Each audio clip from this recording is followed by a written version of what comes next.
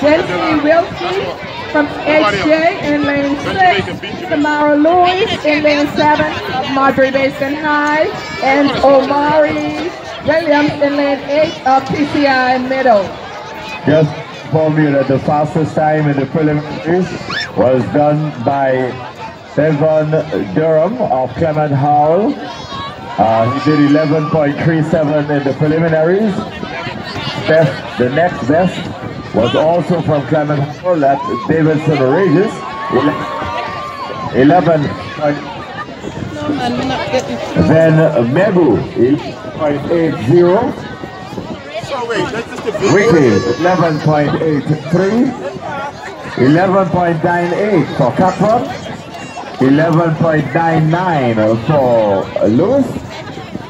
12.01 for Duffel.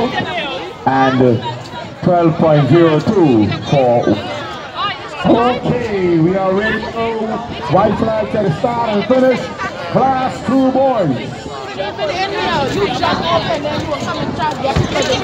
Just for you to be able to move?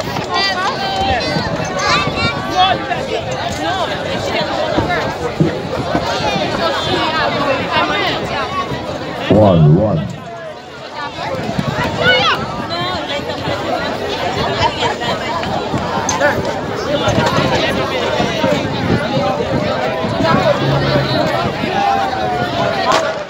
And that's a very good. It's a very good start for the races in the middle.